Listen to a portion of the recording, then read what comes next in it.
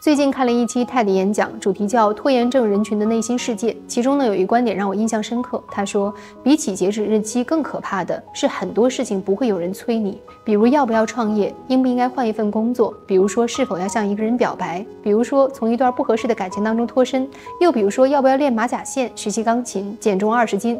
你看这些目标完全没有明确的截止日期，他们虽然很重要，但似乎不紧迫。因此，我们可以无限期的拖延下去，直到某一天。突然发现自己已经错失机会，或者没有时间了，于是陷入到长时间的懊悔和沮丧当中。我个人的意见是，如果拖延是绊脚石，那么最好不要在他面前停留太久。如果你想读书，即使工作很忙，也可以从碎片化的时间开始阅读。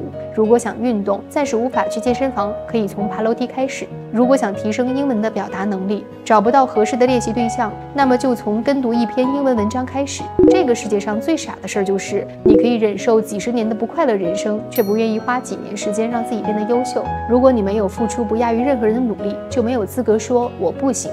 为此呢，我们建立了早起提升计划，跟一群小伙伴们彻底的改变自己。想来的在评论区打一一一，我来邀请你。